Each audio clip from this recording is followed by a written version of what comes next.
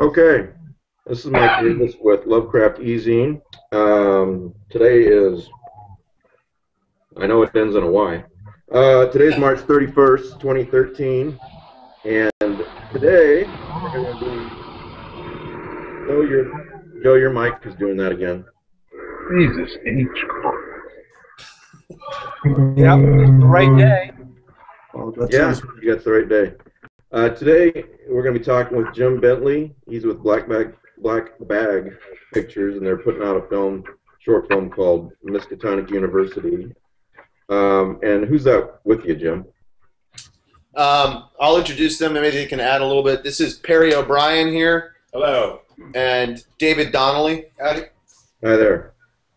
Um, and this is Wilum Pugmire, just so you guys know who you're talking to. He's a writer in Seattle. Rick Lai, damn it, Rick Lai. I don't ever No, it's remember. Lai. It's Lai. You got it right. I got it right the first time. Yeah. Okay. Also a writer. I don't know who that is. Um, wait, yeah, Pete Rawlik. He's got a book coming up called Reanimators. Soon, soon to be an HBO miniseries. That's my dream. Yeah, Joe Pulver. He's a writer. Uh, li- he lives in Berlin. And Dominique, uh, to- token female here, so that we don't get sued. and uh, Daniel, I don't know how to say your last name. It's your first time here, I think. Enke. Uh, but, but but it's it's okay. I'm a writer, and uh, but I um, published in German, Awesome. and uh, Sehr edit. I think for the next month. So, do you guys, uh, uh, Joe? You saw this? Uh, you saw that video of theirs? That looks pretty cool, huh? Oh, well, that's right. Joe can't talk right now. Screw that. I'll talk if I want to. Yeah. I've been Hey, sick okay, for a week. so uh, guys, um, tell us a little bit about Miskatonic University. You know when it's coming out, and what a little bit about the plot, or anything you want to tell us about the movie. Sure. So it's a it's a short film. Um, it's actually a pitch project because we'd like it to become a television series. Oh, okay. Um, we're going to pitch the uh, the film hopefully after we're going to premiere first at Necronomicon uh, in Hmm. Providence, Rhode Island, in August. Yeah, well, most of us will be there too. Great. That's Yeah. we're, we're really excited about that. I was thrilled when I found out that they wanted to take the film, um, especially since we sent them basically a trailer. Uh, so they're, they're they're taking a little bit on blind faith, but it's it's very exciting for us to be able to uh, premiere it uh, at at a convention like that where all the fans will be there. Um, it just seems an appropriate venue. Neil's Um, a very, very nice guy. So yeah, and there's going to be a lot of people there. So, Um, the, the film itself is going to run about a half an hour, um, and it's the story about a professor uh, named Thomas Highland, who's a World War One veteran, who uh, comes to Miskatonic University uh, to take a new job um, as a professor, and he's carrying with him this sort of dark curse um, that involves his dreams um, and sort of a mysterious past. Um, and it's really a launching point uh, for hopefully uh, several other storylines and arcs that uh, we would like to uh, have be developed into a series. well, it obviously it sounds Lovecraft, uh, Lovecraftian, but not based on a specific Lovecraft story. Is that is that correct? Um, yes, I, I, that, that is correct. I think we're, it's it's heavily influenced by several of the stories. Um, Yeah. You know, most notably Shadow Out of Time. Um, I, maybe a little bit of Shadow over Innsmouth as well. I don't know. Do you guys want to add to that a little bit? Um, yeah, um, uh, because of the uh, because uh, the, the sorry uh, because of the dream aspect. Um, actually, uh, one of my favorite uh, stories by um, uh, Lovecraft. Maybe you can help me with the with the pronunciation of the name. Is Celiphas or Celephais? Um, uh, about a person who basically uh, uh, continuously goes into uh, more and more dream realms. Um, Oh, that was, was a big influence for me. It's one of my, it's one of his shorter stories, but I've always loved that story, and so um, so a lot of our spitballing came from basically throwing out different uh, stories uh, that really influenced us. And for me, that was that was one of the bigger ones. I- I'd also say that may- the Nameless City gets a shout out for certain. Um, so there's a there's a lot in there. Um, I think the idea was to pull from everything and sort of tell our own stories, create our own characters, create our own plot lines, but to pull from Lovecraft's rich mythos, um, and not just the Cthulhu mythos, but also the Dream Cycle stuff, the Silver Key stuff. Um, we really are just trying to get it all in there, um, because I, I was talking with Joe and I were talking actually a few weeks ago. Joe Pulver was here, and we were talking about the fact that filmmakers um, seem to over and over they, they want to do um, Lovecraft stories. You know, they want to do um, you know another Pickman's Model or a Call of Cthulhu. But you know, we've all seen that over and over, and we were we were saying this is exactly what new filmmakers need to do, and Lovecraftian filmmakers anyway, is is do Lovecraftian films, but but but themed, you know, not based on a on a specific Lovecraft story. So yeah, I'm I'm really glad you guys are doing that. Um, Is, is there a is there a trailer on YouTube or something like that? Um, not yet. We, we, we really feel like we uh, should finish the shooting. We've shot 80% of it. Um, but frankly, a majority of the of the the the shock and awe, I guess I'll call it, or the money shots, uh, have yet to be filmed. So even though a, a majority of it has been filmed, all of the dream sequence stuff has not been filmed, and we're planning on shooting that in May. Um, so the trailer, I, I think we're holding off on a trailer until we really have something uh, that we can sort of entice fans with and, and, and really put the full film out. I- i- If I was to put a trailer out now, it would look like a somewhat sinister version of Downton Abbey. Which, by the way, was our plan. If this doesn't pan out, we're just doing that sinister version of Downton Abbey. I Uh, I assume everybody does not live happily ever after in the film, though. So, So um, you you'll also have post production work. You doing any a little CGI? That's correct. Yeah, that's correct. Okay. Um, there's there's definitely going to be a monster in this one, um, but I, it's really not. In a way, it's not even the central element of the film.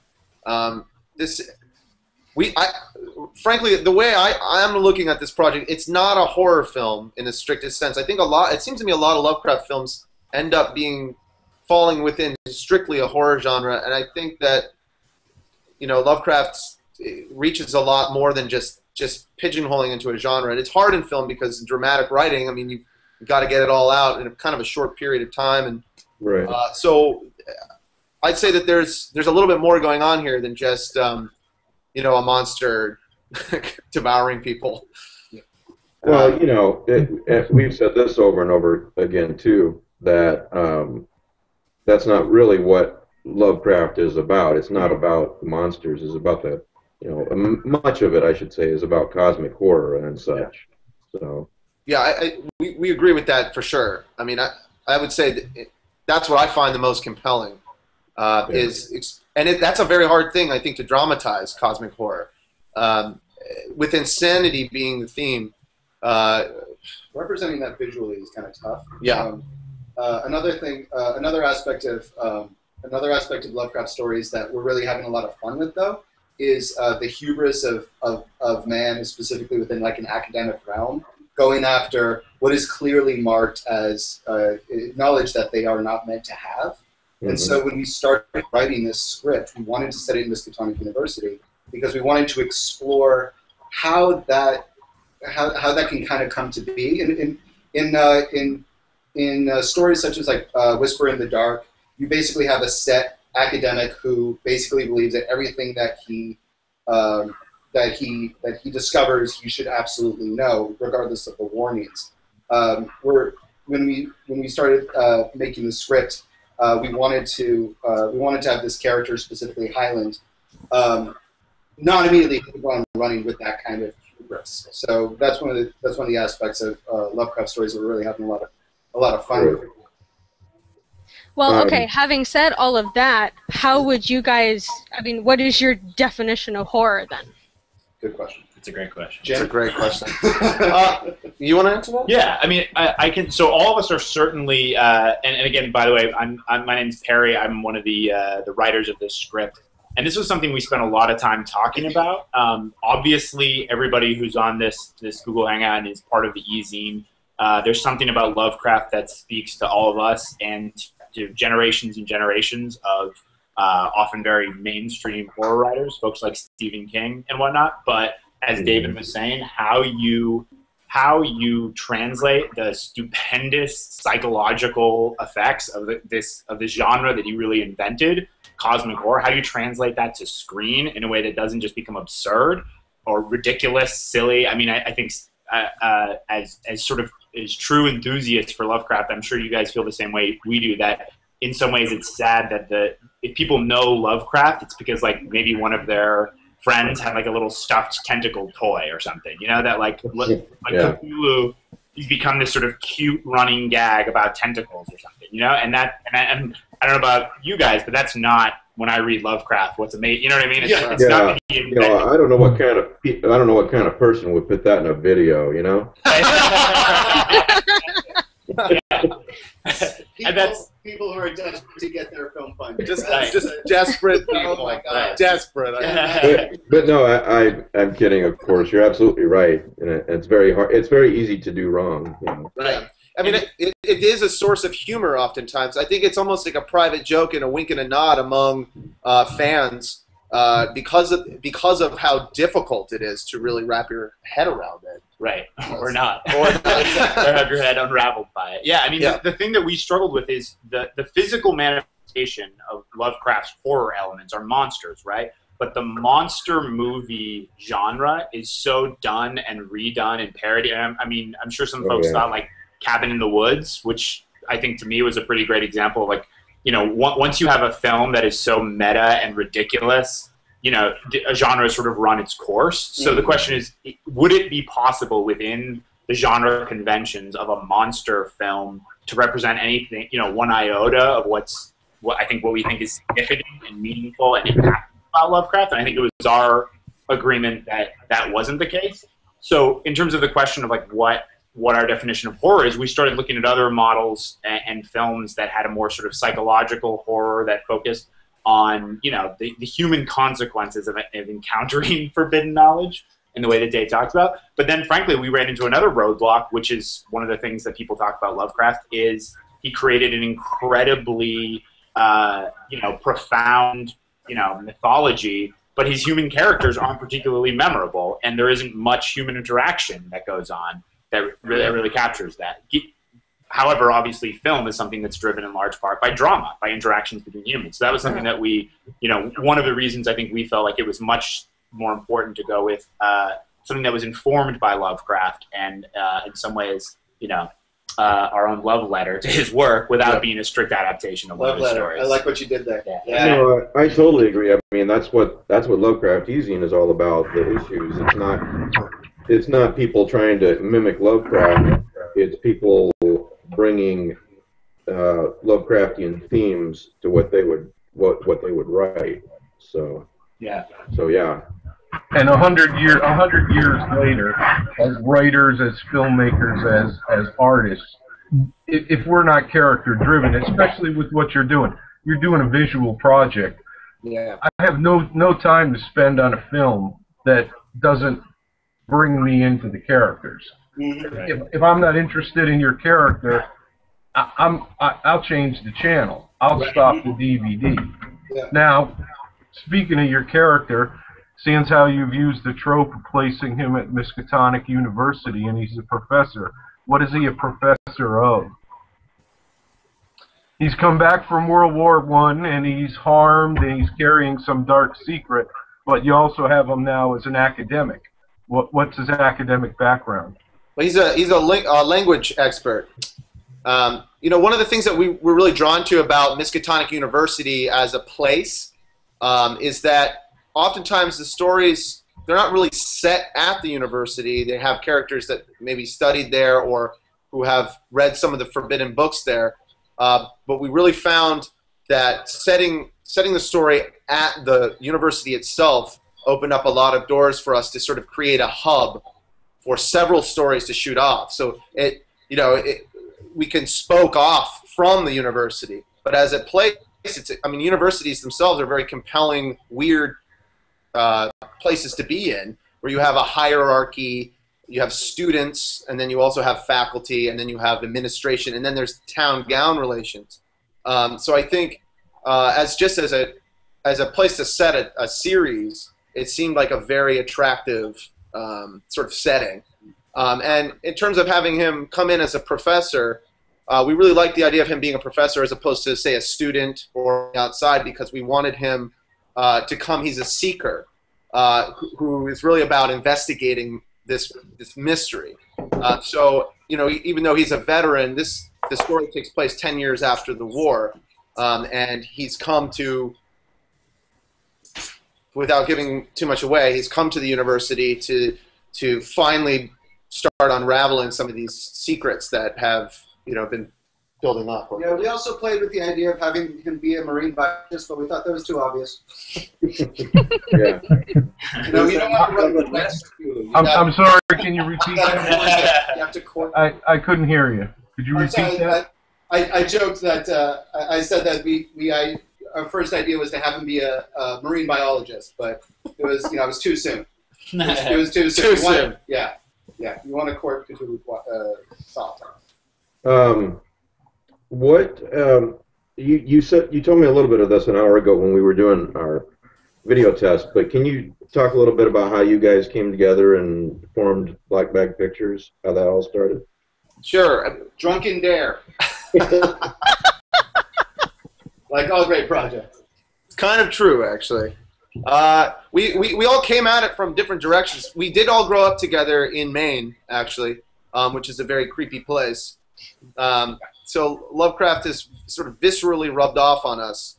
Um, but the way that the film company started uh, was that a friend of ours, uh, you know, went through film school and got really good with the camera. Um, and he's sort of like our technical expert. He, I, I- I consider him like he's like a special forces guy. When I need him for a tactical mission, we send him in, and he gets really good footage.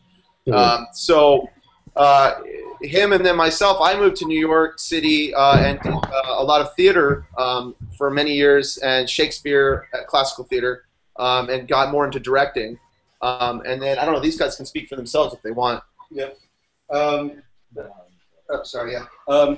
Well, I've been a Lovecraft fan for the majority of my life. Um, uh, so, well, uh, beyond just being a Lovecraft fan, though, I've been a, a, a fan of uh, film for the majority of my life. Um, I'm a student right now and uh, working full time, so naturally, when my closest friends came to me and said, "We would like the rest of your free time. What little you have," I said, "Sure." Um, and so, uh, and so I started helping them with uh, uh, with uh, with scripts. Um, and uh, when they gave me the option of uh, once we had scripts, I love doing punch ups. I love it. I, I help friends who um, who have other projects, and when they ask me for script punch ups, like nothing makes me happier than taking a story and actually like trying to make it more of what it can be. Um, and so that's pretty much why I'm still here. Um, is, is like you know um, is, is pretty much because I love I love being part of the process. Yeah. So our, our first project was a, a, a post-apocalyptic romantic comedy, um, and it was a, for lack of a better term, a clusterfuck. Uh, Which was also going to be the name of our uh, company, but we just got decided against it. Uh, and then uh, we worked on a, a 48-hour film project, um, which I think was we would argue was a success. Um, we won the Audience Choice Award for that.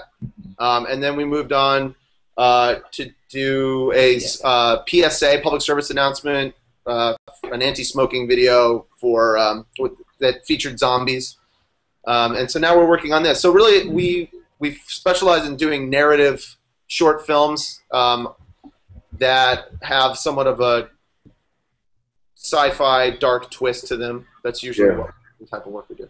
You've uh, reached. Oh, and by the way, um, Pete and Wilum and um, everybody, Rick, everybody else, you guys are uh, most of you guys are Lovecraftian writers, so please feel free to to ask some questions as well. But my next question is, um, you reached your, uh, you just now reached your Kickstarter um, goal. What are your? You got about a day and a half, I think, left. on Kickstarter. What are your stretch goals? Um, if if achieve with those? Well, uh, one thing that Kickstarter doesn't really advertise uh, directly, but I think some people are aware of this. Not everyone is. Is that they actually do take obviously a cut of what's pledged, Mhm. um, which ends up being about ten percent. Um, and for anyone out there who wants to launch a Kickstarter, first of all, I'll say definitely do it. It's a great experience. Um, we've loved it, and I, I just think it's a wonderful tool for any artist or writer out there, uh, which you guys all seem to be. So I highly recommend if you have something that you're working on that you need to boost it with some some support. Um, but I will say that Kickstarter does take about 10%. Um, so even though we asked for 7,500, it's really great that we have this last few days to really push it um, so that we can actually make what our budget is. Um, the other thing I'd say is with film, there's always cost overruns. It doesn't matter. Yeah. Like, you just Yeah. have so little control over so much of what's happening, especially when you're shooting Like on location. storm. Yeah. Uh, What- yeah, so we're actually shooting at Jones Beach, which is um, you know on Long Island. But it turns out Paramount Pictures is shooting the new Teenage Mutant Ninja Turtles movie in the exact location that I had put aside and worked with with the permitting office. And all of a sudden, Paramount Pictures drove in with a hundred big 18 wheeler trucks, and they built a giant studio right where basically where we were going to be doing our, our thing. We sent them a cease and desist. We're waiting for them to get back to us. Uh, so I you know, can't- it's I just can't even believe they're filming that movie. Wow, jeez. you know. I know. So Mike, Michael Bay managed to not just mess up Teenage Mutant Ninja Turtles, but our film as well. He's done that to a lot of films, though. Yeah, Yeah. So we, we did try to pitch them on the idea of like a of a uh, of a joint project where we would try to Lovecraft uh, make a Lovecraftian film about Teenage Mutant Ninja Turtles. Um, they're also going to back to us on that. They didn't jump on that. it said something about doing lunch. I don't. I don't. yeah. We're not going to hold our breath. When, Uh, when do you when so, do you you know- to have the Sorry, go film ahead. finished and out for people to watch and so forth? Uh, can you say, say that again? I'm sorry. Yeah, I'm sorry. I said, when do you guys um, hope to have the film finished and available for people to watch? I, I think realistically, it seems like this August um, Necronomicon premiere is probably going to be the the best sort of launching time. So we'll Right. do a, we'll do a screening there, and then we'll uh, send out. We we offer as a reward a digital download of the film, uh, so we'll send that out probably a day after, two days after we do the the Necronomicon festival. That that's our target goal. Um, so that's when people will get to get to see it. Yeah, this is one more thing to look forward to at Necronomicon. That's gonna be that's gonna be a really fun time. Yeah, we are super psyched about it. Yeah, I saw that Mike Mignola gave um, some some art to the bronze bust project. Um, how'd they work that out? That's pretty cool. Mike Mignola, Yeah, really? yeah. They, they announced it on. I saw it the There was day. an email sent out to a lot of us to contribute to, you know, perhaps a signed book or signed piece of art or whatever. And Mignola's a fan, so that's what he uh, donated. Awesome. Hmm. Cool. You know, um, th- today's pretty noteworthy too because 15 minutes or so have gone by and I haven't heard Pete Rawlik say a word. I was just thinking that it's starting to freak me out. I just assumed he was hungover again. I am hungry. So hungover, he apparently isn't drinking. I that's a pretty safe assumption that he's hungover. I, I have my mic on. I have my mic on mute because the dude's mowing his lawn next door and it's really loud. Hmm. So Did you explain to him that the Lovecraft eZine show is on? the, they look at me when I'm like this and they they don't take me seriously. So, I dress I dress like this, and people still don't take me seriously. Well, I, we I thought you you, were going to be in, in persona as, as dressed like that. But, No, I'm just I'm just in my Easter best. Oh, you're Easter best. Which is your persona, right? Oh, I, I think Lehman's wife was a priest. He has to behave on Easter Sunday. That's Right. that's very true. Um, I, I posted um, a link. If you're watching this, anyone watching this um, at the website, there's a link to to pledge if you feel like doing so. Is there anything else you guys want to talk about the film? Um, anything at all, or questions that I don't know to ask? I'm I don't I don't pretend to be an expert on films first. So. Anything. If you want to clap, clap. Sorry, I keep forgetting. So Something is something is wrong. I can't see anything. I can hear you, but I but, but I can't see anything. You can't see white. it? Hmm? Daniel, do you do reviews on YouTube? What? Do you do book reviews on, yeah, on yeah, video? that- that's me. Yeah. That's how I recognize you. Yeah. Okay. Very nice. Thank you very much. Everything everything is white. Uh, well, you might have to restart your computer. That usually fixes everything. Uh oh. Um, I would I would definitely say though, um, if you wanted to donate, um, one of the things we don't advertise on the website is that we we, we launched into this project um, as writers, uh, creators, and uh, Lovecraft fans. And if for nothing else, please reward us for still being friends. Uh, we have had some of the most monumental discussions about Lovecraft as fans, and like creating this uh, creating this thing has been uh, extremely extremely rewarding. Um, but uh, it's it's uh, been a it's been a real labor of love. A lot of our our cast and crew is amazing though. Um, the people that we've got working on this thing is is absolutely amazing. I can I think Jim can speak a little bit more about like what it's like on the ground though.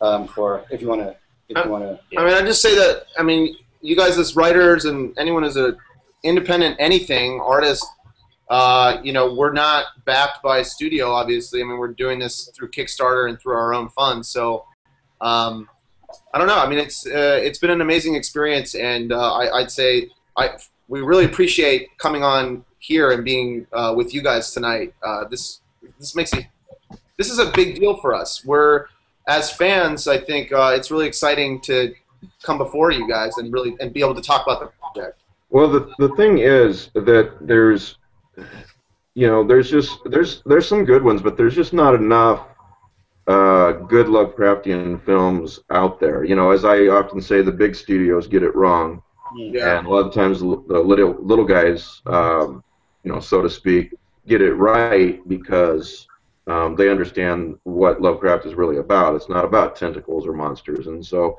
you know that's why I wanted to have you guys on. That's why I wanted to mention you guys uh, because we want to see films like this, um, you know, get cre- get done. We we need more films like this. We need more Well, films, as I said. yeah. Go ahead, Well, I'm sorry.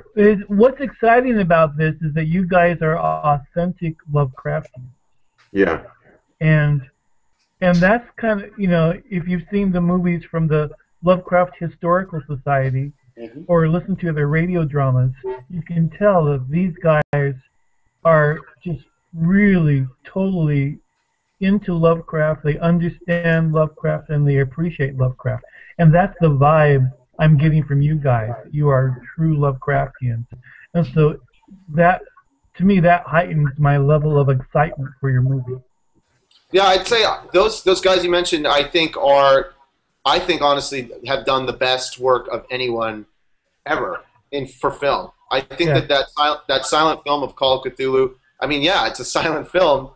Uh, It's really good. but it's really good. And Yeah. uh, yeah, I think if anything, to give those guys credit, they're probably doing something that's even more for the fans than what we're doing. Only because I, the only reason why I say that is be, because we are we're pulling from Lovecraft's mythos, but we are writing our own story. So I, it's they're not strict adaptations. So I think we're we're gonna, you know, we are. But you know, Jim, really, I, I really think though that it's time to be, uh, and as I said, Joe and I have discussed this several times before. That it really is time for um, small filmmakers, or what you know, it'd be nice if large filmmakers did it too, but to to start doing Lovecraft themed movies too. I mean, we we know the stories, and um, we it's nice to go into a Lovecraftian movie not knowing what's going to happen because you haven't read the story. Oh, and that's one of the beauties of AM 1200, and that's Yeah. why we need people stretching out and developing their own work. You know, I, I mean, how often have I discussed AM 1200? And that's an approach that these guys are are doing at this point. You know, they're taking their own material. It's like, yeah, we have a basis. You know, we have the stage. We're using some of the background material, but just as they're they're just adapting it. Mm-hmm. You know, we're they're they're it's not a straight one-to-one conversion. You know, and which we're all sick of. We've all seen all seven Pickman's models. We we don't get another Pickman. You know. Now that's a question as you guys as small independent filmmakers and as as Lovecraftians have have you guys looked at a lot of the smaller Lovecraftian projects to see what's been done to look Yeah, at question. what's good about them to, to look at mistakes Um, yeah, uh, I mean the first film that comes to mind is the one that came out in the the '90s. That we Dagon. Uh, that one. The Necronomicon. Oh, Necronomicon. Yeah, it's like four. It's like four smaller stories. Oh, right, yeah. And that's interesting. Um, I've looked. That one immediately pops uh, to mind though because um, it's kind of like it, it, it charges head on with the idea that uh, Lovecraft described these creatures that are supposed to be indescribable, um, and they they said like we're gonna still make monsters in a monster movie with Lovecraft. Um, uh, so I've, I've looked at that one. I've looked at some smaller ones on uh, Netflix. I can't remember any. Yeah, the Lovecraft. Some some that you guys might want to check out, and then you know maybe stop me if you have seen them. Uh, Joe mentioned AM twelve hundred. That one's uh, I can give you a link to that one if you. But it's very very well done. Um, another one that's free to watch right now on Netflix is a film called Absentia.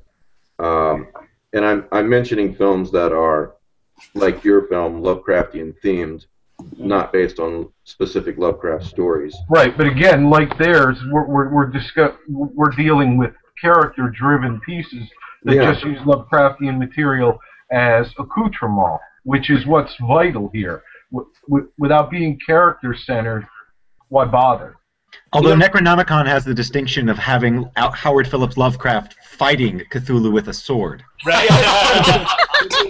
Yeah, you know, some people really diss on that movie, but I just think it's one. It's like it's like a B movie that you love to watch. I mean, I, I like that for that reason. My, my goal is to supplant Jeffrey Combs as the face of Lovecraft. You've already reached it, I think. Oh, You- sorry, yeah, too you've late. already- Demon you've already has already done that. Yeah. Uh, Hey, I, well, hey, Joe, Joe, I love it when you speak French. Oh yeah. you're a wacko Hey, I'll, I'll see you in 30 days brother Are you bring really? me a hat Oh I- my! I'm not bringing my hats, honey. Yeah.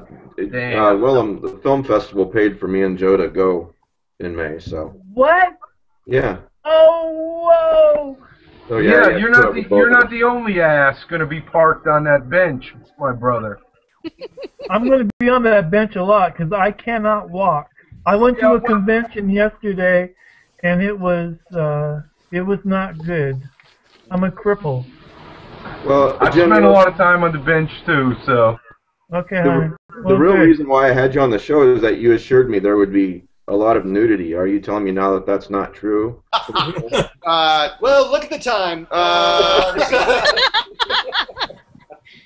uh, well, it, maybe in, in the film right now, uh, it's still pretty cold in Brooklyn. Uh, You know, one, one thing I did want to say though that we uh, yeah, tell them it's cold. Thanks, man.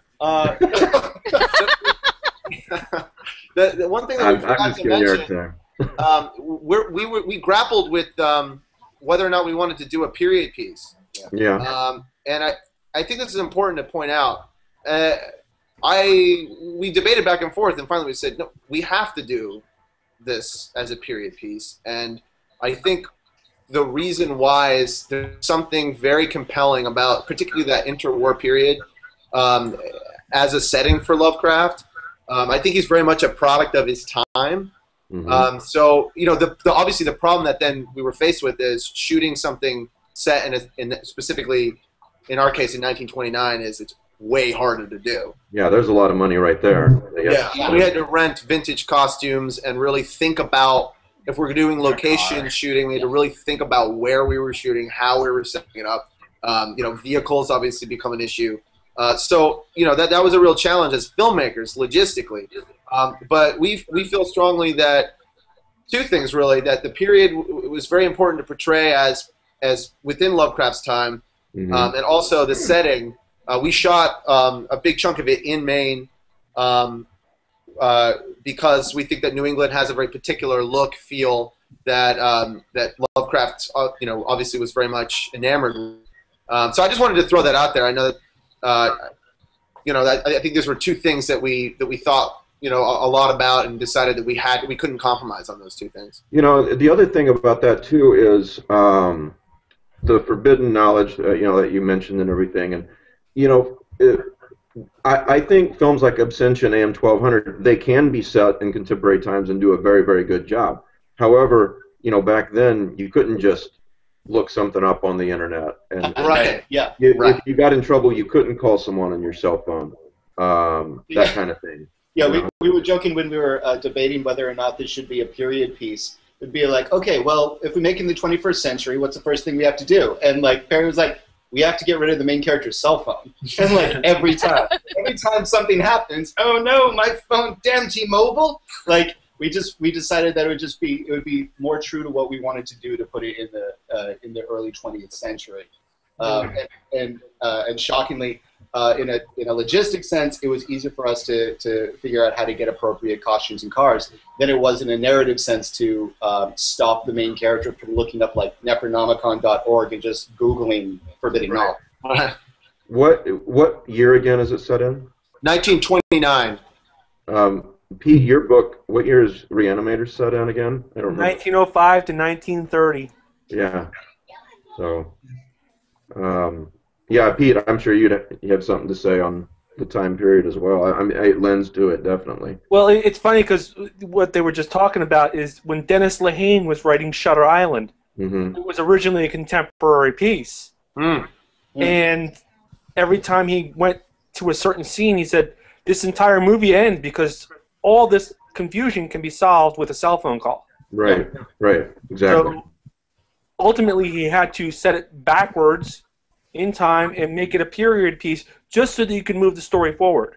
Yeah. And there are there are certain things that we we can't we can't disbelieve anymore. I'm tired of seeing this trope that my cell phone doesn't work the car won't start. Or my tricorder is being interfered with ionic atmosphere. Yeah.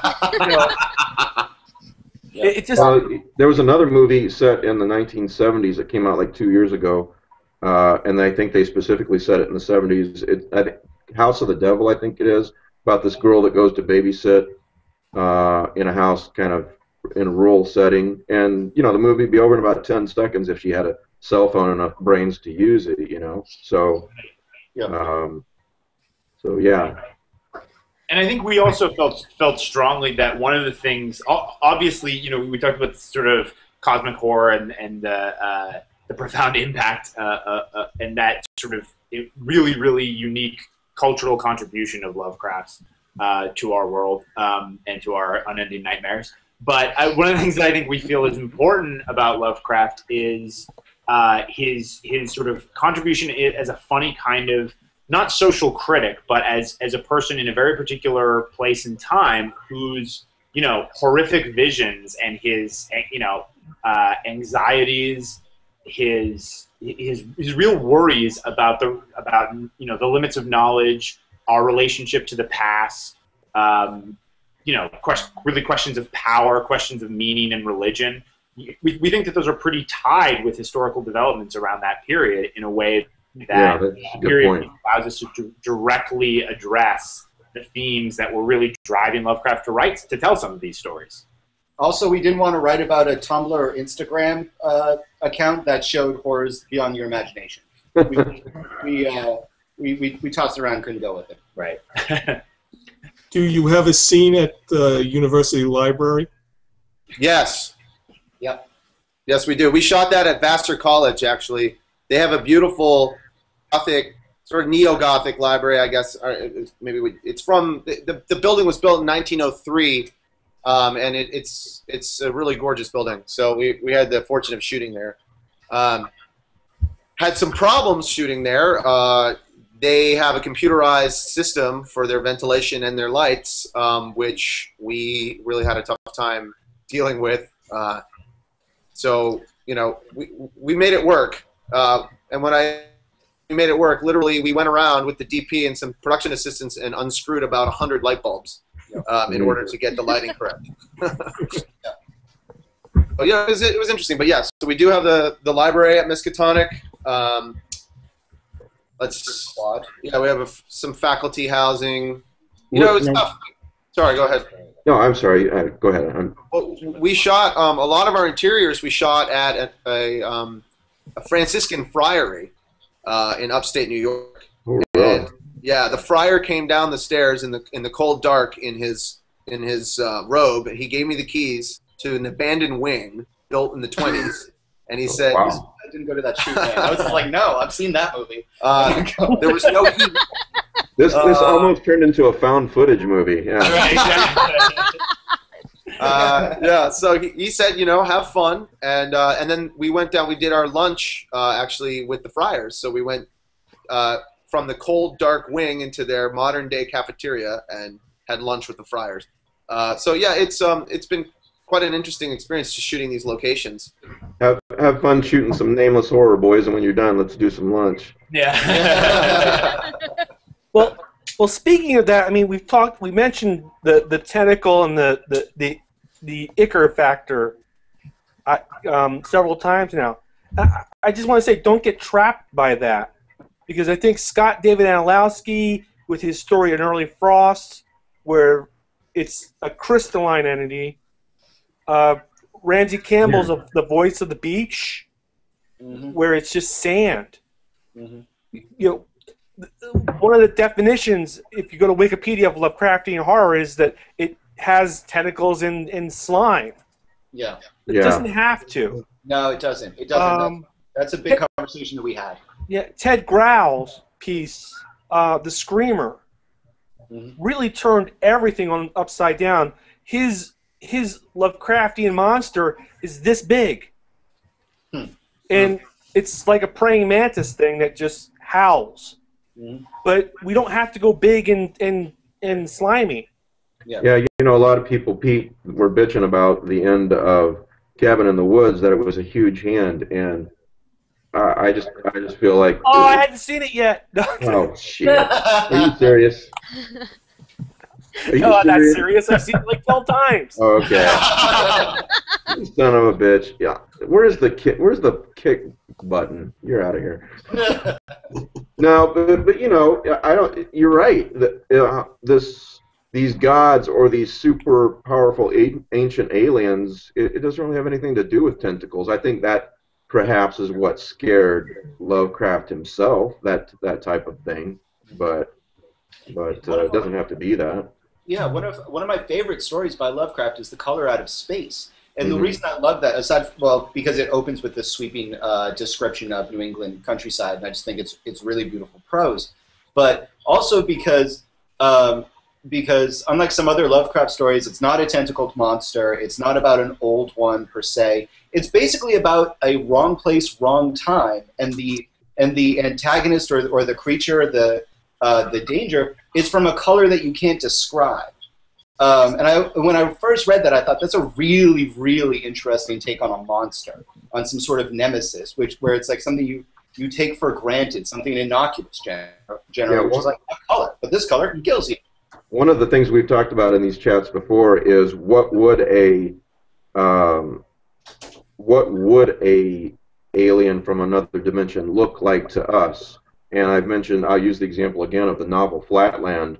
Um, it's about I don't know if, if, if anyone's read it. It's about a three-dimensional uh, sphere that appears in a two-dimensional world. And Right. the two-dimensional creatures, of course, they can't see them as a sphere. All they see is, is the edge, and so they can't really perceive it as it really is. And that's a very interesting thing to think about as well.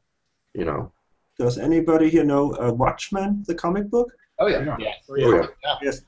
There, we have the tentacled monster here. Oh Yep. yeah. You see, well, and then there was a movie, and I missed this thing. Yeah. I really missed this. I, I've, I waited for, for it. Wow, it was a big tentacle monster and nothing. It's just this blue explosion, and that was it. I was so disappointed with it. it's, it's interesting that you bring that up though, because I, I, uh, it, I, you're obviously disagreeing with me, and that's fine, and prob- maybe other people will too. But I actually thought the the tentacled monster in the comic book was kind of an unnecessary addition because they already had um, a you know basically a god in the story that could do all of that. All they had to do was blame it on him. So which which they did in the movie. One one of the reasons they cut that out was because it would be too much like an episode of The Outer Limits. Yes, but but this in a movie is would be look great. Both New York destroyed with this big Well, if we meet our fifty thousand dollar stretch goal, we're on it. Luckily, we had Hellboy to add some tentacles back into our big uh, Hollywood films. Right. Yeah, the first No part of Hellboy tentacles, was no. I mean, I, I would say we're not anti-tentacle. I love Uh, that this is a thing. this is a conversation. We represent the. Where do you land on the pro-con tentacle debate? We're, Yeah. we're moderates when it comes to tentacles. Thank goodness, because I, I really I don't want that kind of bigotry on my show. So. Well, I, I think tentacles have the right to marry. I don't even know why we're debating this. Of course, they have the right to marry. If you like tentacles, don't read my books because I don't go there. Yeah. I was going to say that, that I think the Dream Quest of Unknown Kadath is a great, just potpourri of weird Lovecraftian creatures. Yes, I don't think a tentacle shows up once in that story. Also, now I'm thinking of Lovecraft potpourri and wondering what that. That's a separate Kickstarter. I've already got dibs on that. I believe that's from, that's available from Phoenix Alchemy, though. oh, okay. oh my goodness. How, how did you guys? How did you three guys get into Lovecraft originally? Were you reading Lovecraft when you were kids? Or did you come to it later? Um, you know, what got you interested in Lovecraft? I mean, you know, some people read Lovecraft and okay, great stories. They know they don't really go on to be, you know, a bunch of Lovecraft nerds like the rest of us. Uh, what what kept you there? Let me let me let me summarize that. What screwed you guys up? Yeah. exactly. Yeah, Thank you, Keith. exactly. Uh, childhood. Yeah. yeah. I, I mean, I, I, I know everyone's coming in from all around the world. I will tell you that New England has a very unique um, vibe. Mhm. Uh, and it, you know, this is a weird coincidence. I actually mentioned to Mike in an email. Um, I was reading The Shadow Out of uh, Time, which I had never read before, just recently when I was scouting uh the, the location at Vassar College. And I was riding the train, and the protagonist in that story was born a street next to the street that I grew up on in Haverhill, Massachusetts. Right. Yeah, you did mention that. He said Boardman Street, which is the street that I lived on when I moved to Newburyport, Massachusetts, which is where Inns, Shadow over Innsmouth is supposed to take place. So and I- so I had this. It was like I had my own mini cosmic horror moment. Wait, why there. are we still friends? You never told me this. I, I actually Google mapped it just to confirm. It said Golden Hill. I'm looking at this. I, it totally freaked me out. It's. I mean, it's. I guess it's a coincidence, but I will say that you walk around in New England uh, during a certain time of year, particularly in the fall. Yeah. You just feel it. I guess. I don't know. I um uh well Yeah. my my introduction to Lovecraft was primarily because my sister is a bibliophile. She she's an avid reader, um, and she got really into Stephen King. Um, and she's my older sister by three years, and she's always been smarter than me. Um, so naturally, I felt competitive. And when I found out that Stephen King was influenced by somebody, I tried to one up my sister by getting uh, interest uh, by reading some Lovecraft. But what really clinched it for me was in our hometown in Maine. Uh, I was I was casually I was casually talking about Lovecraft, a couple of stories that I had read at a comic book store um, uh, that I would that I would hang around in sometimes, and uh, there was a guy there who was an avid Lovecraft fan. I didn't know this.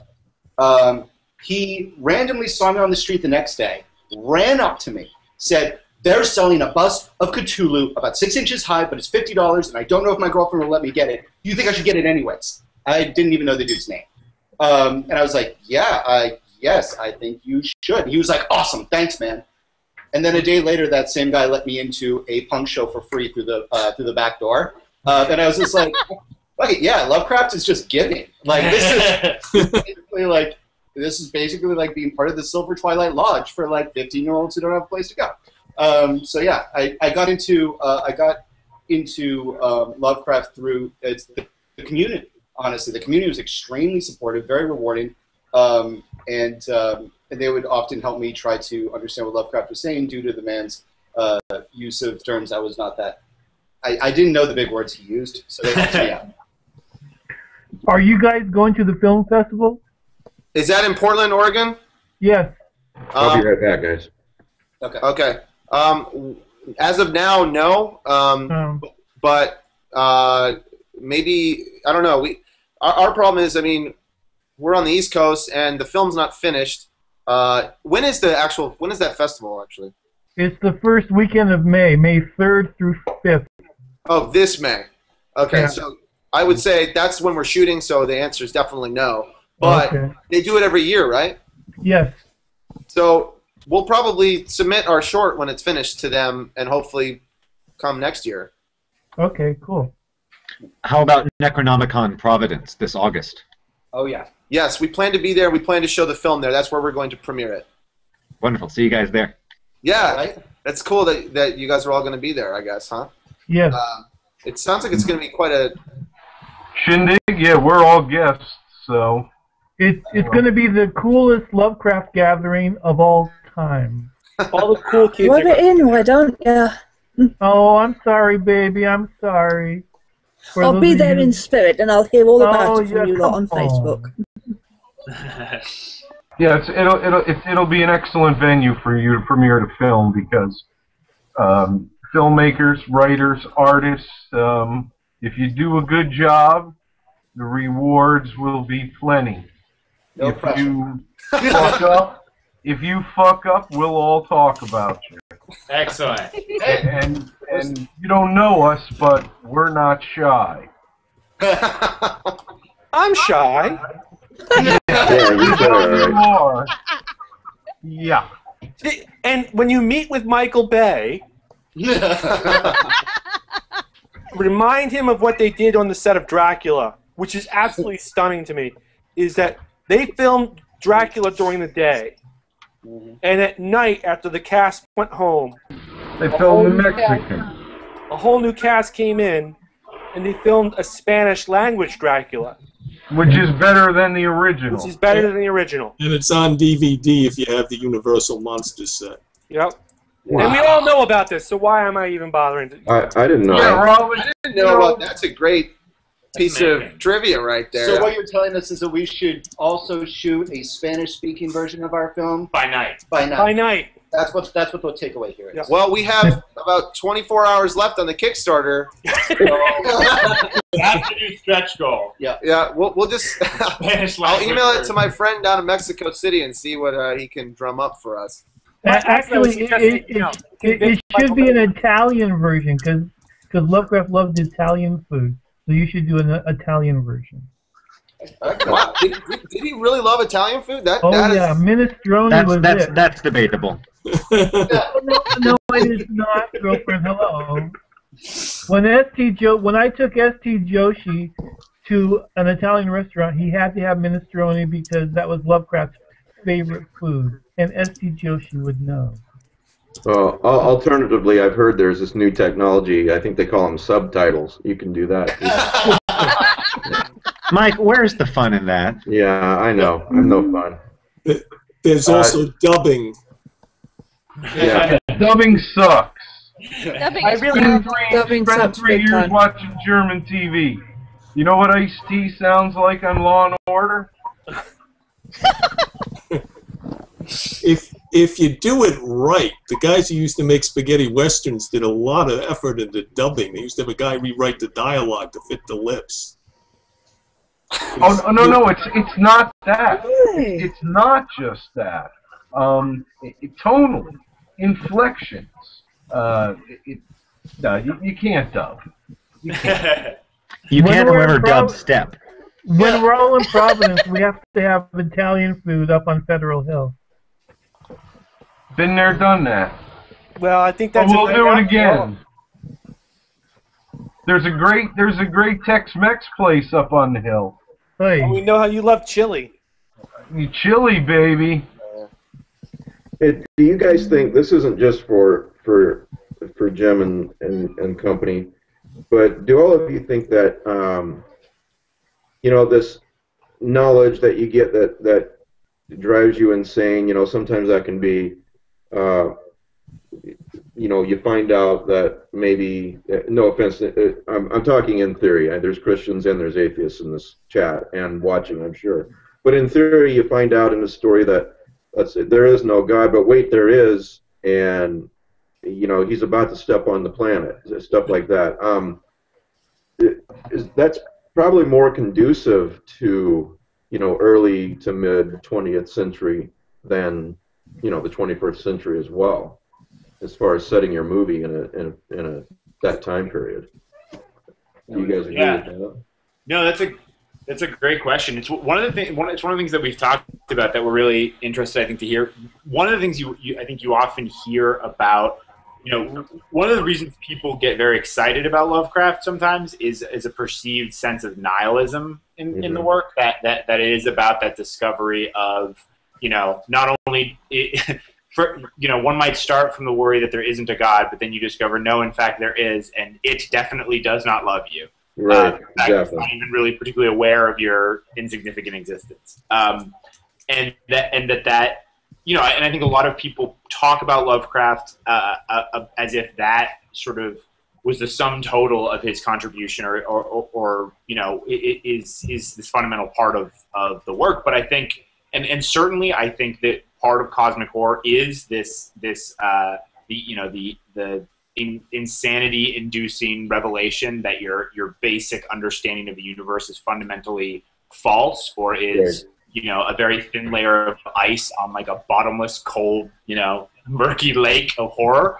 Um, but on the other hand i mean lovecraft wasn't in many ways himself really a nihilist. I mean a lot of and i'm sure all of you probably read many of his letters and things like that but but there were there were many perfectly and you know maybe um, minestrone soup is, is a great example. There, there are many sort of things uh, about you know human life and that he was a great lover of. You know people don't often don't talk um, you know, at least in some fan circles, there's not very much discussion about the fact that Lovecraft was a really avid traveler and travel writer. And actually, his longest work is is like this, you know, eighty thousand word description of his travels in Virginia. You know, I mean, he he was this, and he, you know, he collected jargon and folklore and local histories and and you know, mo- mostly New England, which is one of the reasons he appeals so much to us. And uh, obviously, it appears in his writing. But I, um, you know, I think that that's something that's important about, and something that we want that, that we really. It was one of the reasons I think it felt important for us to, to set it in the particular time and place that it is, was to connect to the things about the world, whether it's architecture or folklore, that is really important. And I think sort of uh, formulated the closest thing to religion that Lovecraft experienced. Well, the other insanity-inducing thing too is that I think people maybe don't give enough credit to is, it, it, I often hear, okay, I see this tentacled monster. Why would that drive me insane? But if, if you consider, uh, you know, if I see a, uh, for example, a tarantula up close, it induces this feeling of, you know, combination of disgust and horror and and and all that kind of stuff. You know, maybe it doesn't. Maybe it, for somebody else it's snakes. But if you imagine something like that, uh, the size of a mountain or the size of a skyscraper, then you know how much more of those feelings would you experience? You know, I, I can see somebody starting to gibber insanely at that point. So. There, there is a there's a scene like that in the German adaptation of the Color Out of Space, The Farmer. Yeah. It, it- it was the uh, wife of the farmer and the but in large. I don't want to ruin the film, but there's there's something larger than you expect to see. That it's an insect. Oh yeah, yeah.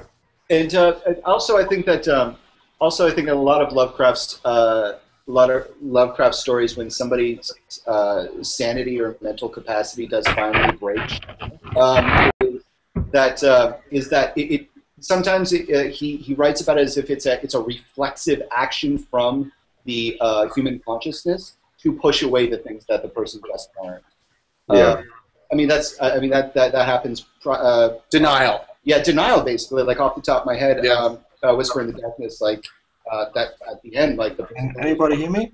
woods, screaming and uh, trying to hang, hang on to his sanity. It seems like it seems like a, a almost muscular reflex, like a basically a gag reflex of the mind, uh, in order to push it away once once it's been uh, obtained.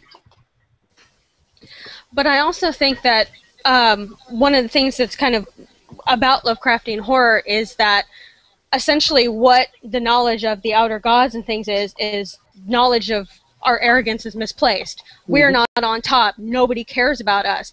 And I think kind of God is just the name we put on that. That's how we understand it. Again, back to what Mike was talking earlier about the things that we can't really understand because we've never seen them before. We haven't had that experience of we're not on top. So we're just going to put the name on it that God hates us and that's it. Right. Yeah. Yeah. No, it's true. It's true. Uh, you guys really need to be on your best behavior now because um, Molly. Yeah, she's a prude. Hi, everybody.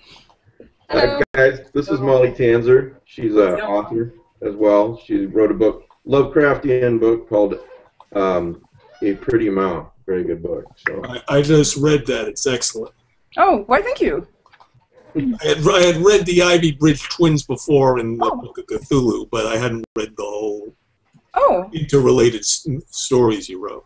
oh. Well, thank you very much. I love the P.G. Wodehouse. Uh, Oh, thank you. Yeah, I was feeling cheeky. I don't know. Hey, so Mike, it's uh, seven o'clock for us here Eastern time. Um, we we actually got to cut out. no Uh, problem.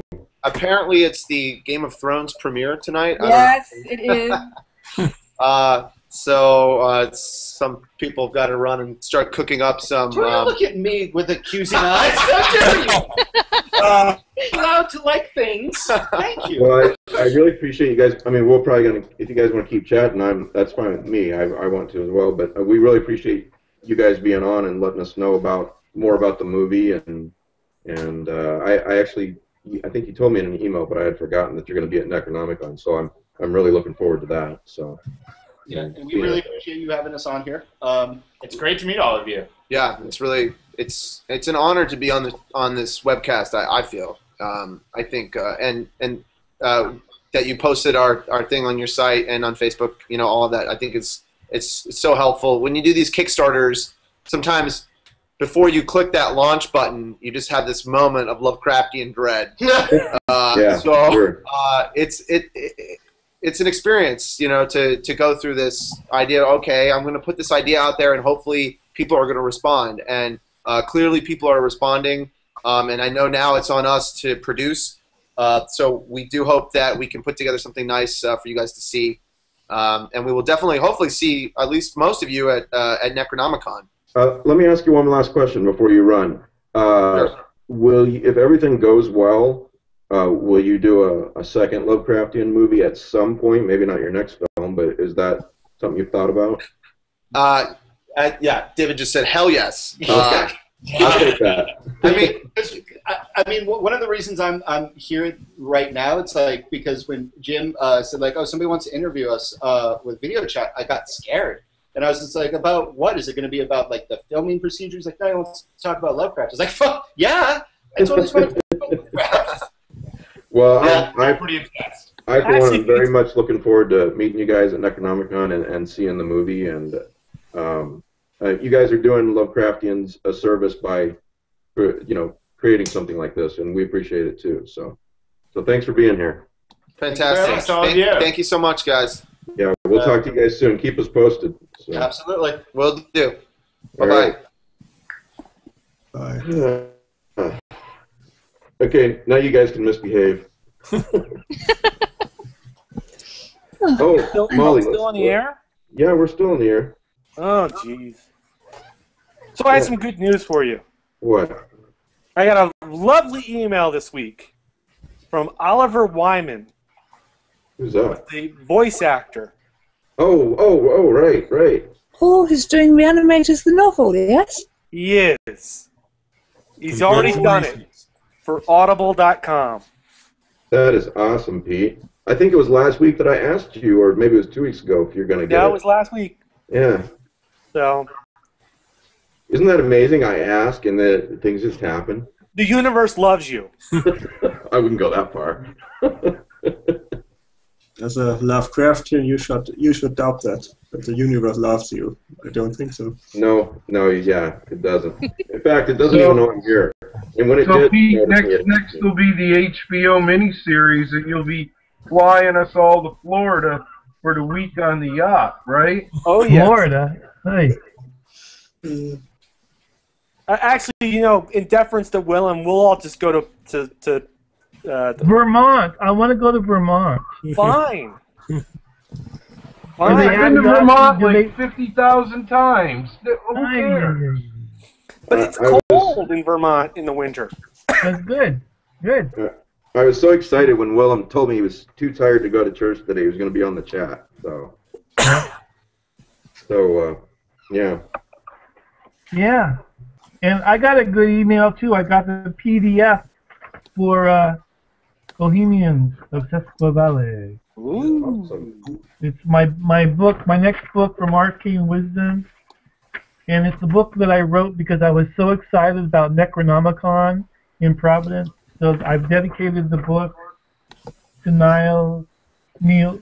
How do you say his name? Niels or is it Niles? I always want to call him Niles. I believe it's Niels. Yeah, it's Niels. So it's dedicated to him and the convention. I got to have him on soon to, so he can tell us what's, give us the la- latest with Necronomicon. I think there's a lot, a hell of a lot of people are going to show up to that thing. Yeah, I'm trying to figure out how to bring all the books I want to get signed. Yeah. But Hmm. maybe that's a Does first. Providence have a marina? yes, as a matter of fact, Providence does have a marina. And the, fact, the in the hotel, hotel. abut- yeah, the hotel abuts to the marina. So we'll just be bringing the yacht up, which means I have to leave four days early. So who all is going to the film festival? I am. Yeah. Me? The film festival? Yeah. Yeah. and Matt. Aren't you going, Molly? I am. Oh, good. Yeah. We can we can do a we can do an evening chat on Sunday at the Oh. film festival. That, actually, that was, Well, that's already been planned. Yeah, Oh, that was well. the one thing that I, I, Joe and I had to do in order for them to, it, that was the stretch goal. We're, we're going to do the Oh. eZine chat from there. So, But And I'm we'll not be bringing my computer, so we, it's it's going to be a, a what a group thing, or just all going to have a, a camera and film it as a group. uh, I haven't thought that. Mike and I are still talking. We're Or, we're gonna do updates. We're gonna walk around and do little mini interviews and post stuff and We could go to a bar. Well, if, if we have to share, if, if we have to share computers, then I get to sit on Joe's lap. Yeah, there you go. Whoa! you- first you're behind me, pulling me like this. Now you're on my lap. Uh huh. Uh, guys, uh, this is Todd. Speaking of video and photography, and Todd is going to do a lot of photography at Necronomicon for me and Niels, um, and his friend's going to do a lot of uh, video. We're going to attempt to help Niels out by giving him enough material for a DVD. So, Right. are, are you going to be at the film festival, Todd, or just Necronomicon? Uh, just Necronomicon. Um, unfortunately, I don't have the funds right now to make it out west, but being the convention is only 20 minutes from my house in Providence, it's uh, a lot easier that way. Well, Rawlik could probably help you out with. He could probably fly you. Oh, yeah. Yeah, he's rich, right, Pete?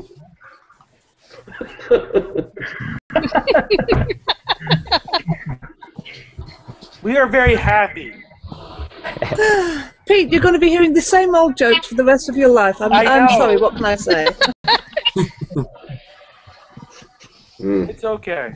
Well, if, if somebody would buy me Photoshop, then I could start producing all the uh, FBI documentation about uh, Rawlik's little antics on the boat, but I don't have Photoshop. Nobody needs to buy Photoshop anymore. You can go download Paint.net for free. It does all everything Photoshop does. Oh, I never heard of it. Yeah. I don't know any of this technical stuff. Paint.net. So, Oh, okay. close enough anyway. Yeah, it it can do some pretty cool stuff. Because I mean, it seems like Facebook allows nudity all the time now, so I can post that stuff. It does. Uh, no nipples. No. I see Not stuff allowed all to the do nipples. There was that bunny I girl don't know because I today. haven't found out about it yet. There, there was nipples on that bunny girl on Facebook. Okay, you know what? It'll probably be I taken don't, off. I don't care if they allow it. I don't want to see it if it's Rawlik related. I just what? don't want to see it. If You it's must- Pete, I don't want to No, see it if it's Pete. What what bunny girl? I didn't see a bunny girl on Facebook. Uh, there was some post this morning about uh, it was a naked girl and body painting, and she was made up like a bunny, and the only thing that wasn't painted over was her nipples. no, that's And I thought, wait a minute, I thought Facebook you can't do that, And but so- there it was. all the interesting stuff, and I miss Is it. it still there though? I don't. I don't even remember who posted it. What corner of Facebook are you seeing this on, Joe? Right on the main page thing there. You know, I got I, like. I had to censor my photo at the heart, so I don't know. Hmm. Oh, yeah, you should post that. I don't know why you haven't. I, I, it's there, but I, I had to, I had to black out my, my. I mean. I have like 30 copies of it on pages of letters. I'm going to mm-hmm. start selling selling them. Oh, I, I right, remember. I, Any, if anybody watching this wants naked pictures of Wilum, I have them for sale. Send me a Facebook message. But they ain't cheap, folks. Well, yeah, you gotta. and there's there's gotta- you gotta nothing to see, my darlings. There's Oh, nothing yeah, I- to see. Full full frontal nudity. Yeah, that big. I, I, Okay, well I didn't say it was large. I just said Let's clean this up. Let's I clean said this full up. frontal. I didn't say. We may have children watching. Molly, I'm, I'm glad This you're time here. of night. I'm glad you're here, Molly. Ro- you wait a minute. No, no, no, no. Wait a minute. Wait a minute. Molly can say things. Rawlik can say things. What? So this tonight it's Pulver. What things do I say? coming back to Facebook, I remember I, I posted the trailer of Werewolf Women of the SS by Rob Zombie there, and there are a lot of nipples and uh, Facebook. didn't be there. It, it didn't disappear or something. Well, there you have it, folks. getting Now you can see nipples on Facebook, and you, you found that out here on on this show. Hey, it's supposed to be inf- information, right? That's right. Okay, there you go. So Molly, what have you been up to lately? And, and please, please, It's a movie about history. please give us details. Um, uh, I've had some house guests, and I've been traveling.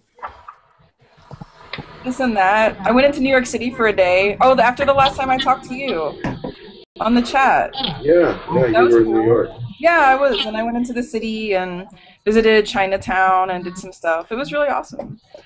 And then I came back here and um, yeah, I had house guests and I had like a five night bender where all we did was play like um, Warhammer fantasy roleplay, and so that kind of ate my life for a Warhammer's great, while.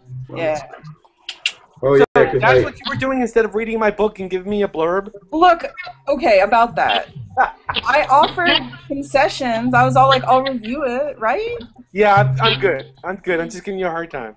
Nobody would buy a book on my recommendation anyway. They'd all be like too scared. They'd be like, if Molly likes it, it's probably full of boys kissing and like, I don't know, like more incest than a George R. R. Martin novel. So you don't want that. There are no boys kissing in this first book. Yeah, I know. You told me. You see, you told me that too soon. If you had told me there was boys kissing, I would have gotten around to it. Me too. What have you? Yeah. Anyway. Book five. with Why lie? kissing and- Why lie? Why even pretend? No, no. Actually, I, the, the first chapter of book three is written. And Well, why don't you why don't you do the Lovecraftian version of this? You got boys kissing. Well, all right. Rechy, City of Night. Wilum, Rechy, City of Night. Yes, yes, yes. Ah, that's Yeah. depressing. Doesn't everybody die in the end of that one? No. Oh, great. I haven't read it. Thank you. he Sorry. dies, she dies, everybody dies. There's no she's in the City of Night. Well, there's some she's like Wilum, but that's it. Oh! There's, there's a, there's a book by Lawrence Block, Matthew Scudder book, and the title is Everybody Dies. Yeah. And I'll Oh, we have to. By the way, Mike, we have to talk about Block What? after this is over. What did you say? When we're done, we have to talk about Block. Why do we have to wait till we're done? Robert Bloch? What do you want to say about No, Lawrence Block. No, uh, when we're done with this on for viewing. Oh, ok- okay. So I want to hear what everyone's working on. What are y'all working on, you writers? I just finished my film festival tale for the newspaper. All right. They're gonna kill me because it's almost four thousand words. Well, that's good. Um, I finished a story called The Rendition of Ephraim Waite, which is with my editor right now. You know, she's ripping it to shred. I just sent a new novella to Jeff Thomas, who's editing my next collection. Oh, really? Yeah. Do you have a publisher for it? Yep, but I can't tell you because it's a new imprint. It'll be announced really soon. Okay. Ooh, mystery, So- mystery man.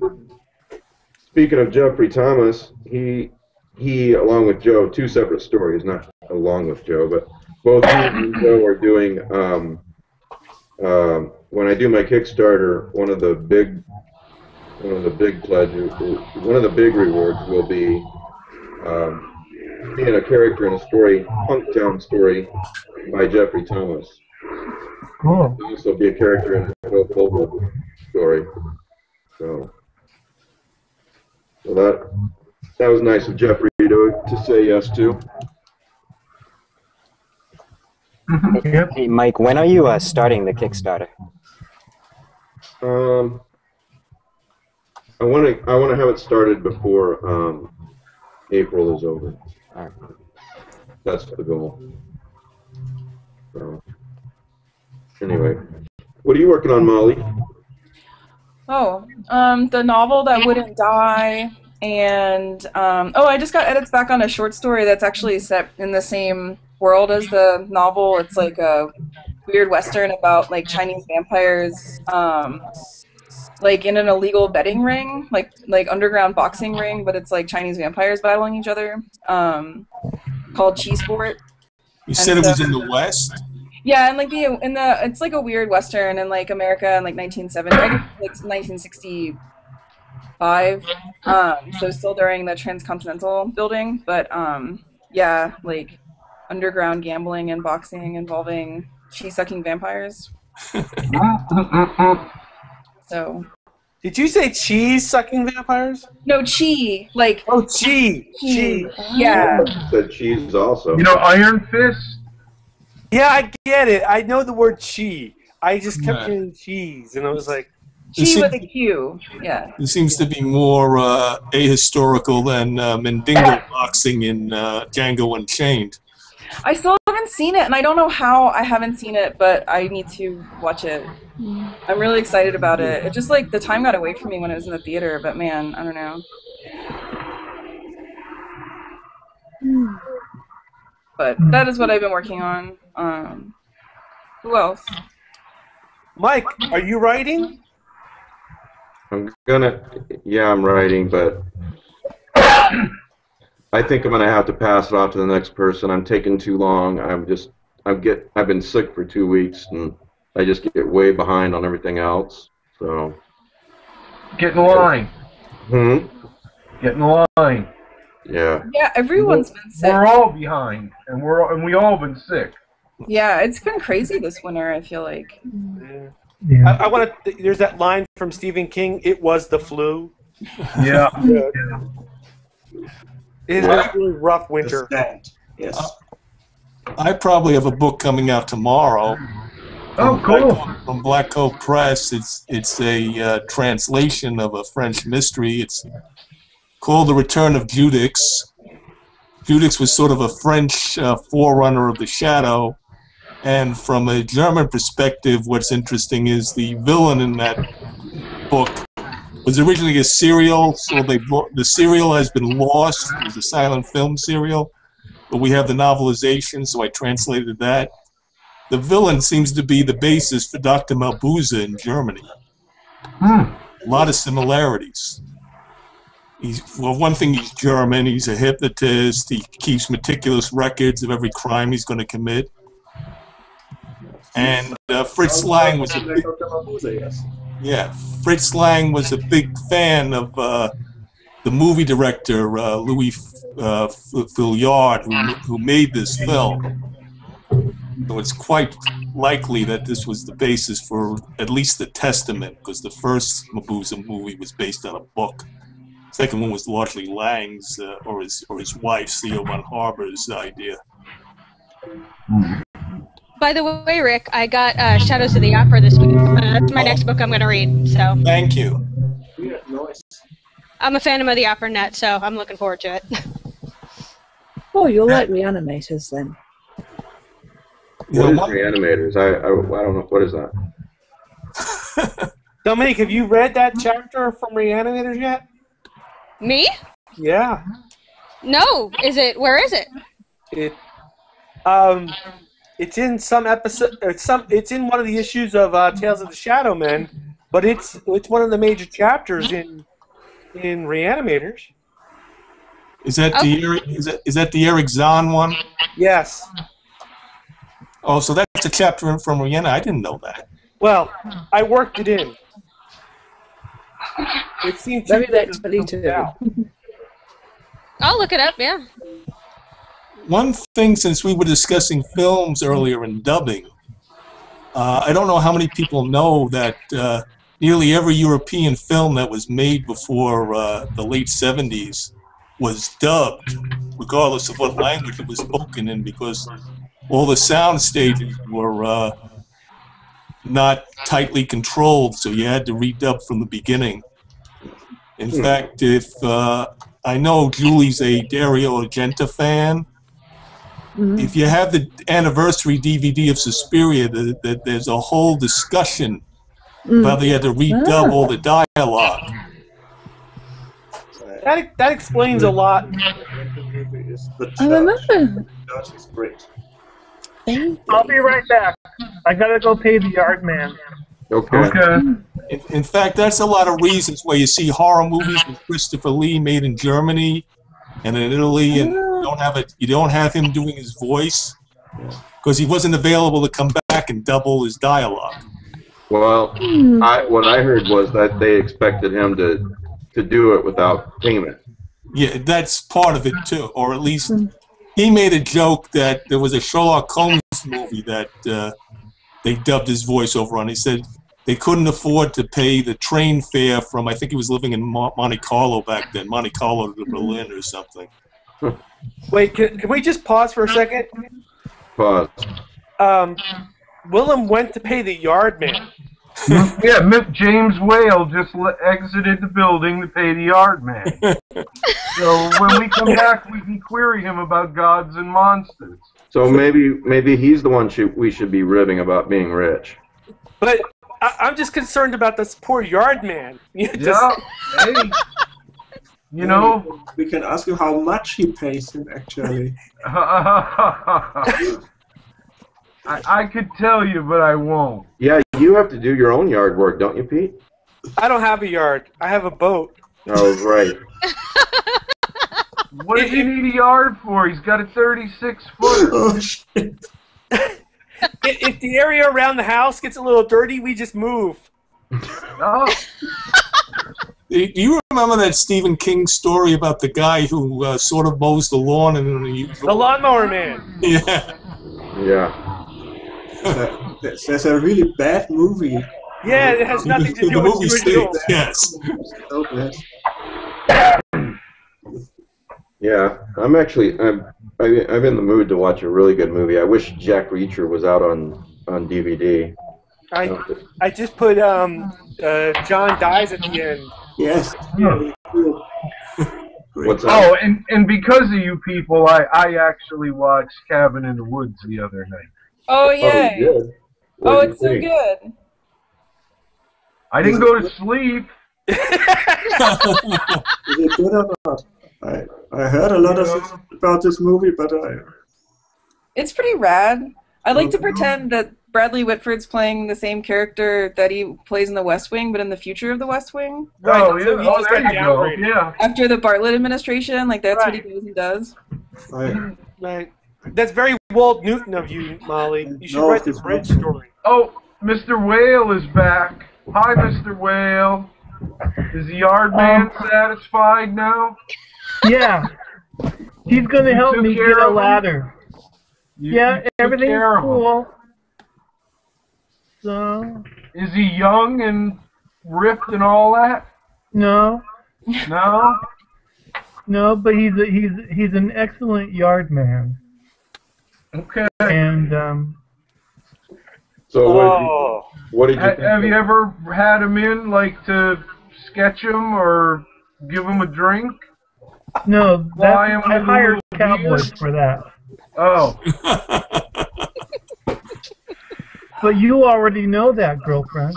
Yeah, I, I know, darling. Uh huh. Wilum, you didn't say what you're working on.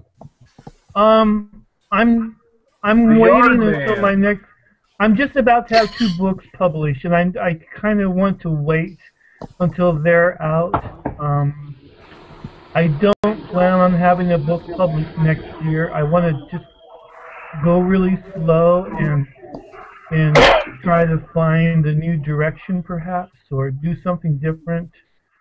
Um, I've, I've I've written too many books. I need to slow down. How's the novel coming?